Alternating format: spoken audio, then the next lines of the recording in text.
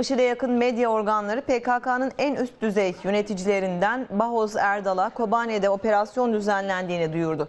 İddiaya göre Kobane'deki incelemelerde bulunan Bahoz Erdal ve beraberindeki YPG güçlerine IŞİD militanları ani bir baskın gerçekleştirdi. Saldırıda Bahuz Erdal korumaları ve YPG militanları öldü. Türk istihbarat birimleri ise istihbarat toplama çalışmalarının devam ettiğini ancak henüz bu iddiayı doğrulayan bir bilginin olmadığını belirtti. Askeri kaynaklar da benzer değerlendirmeyi yaparak iddia ile ilgili bir bilgi yok açıklaması yaptı.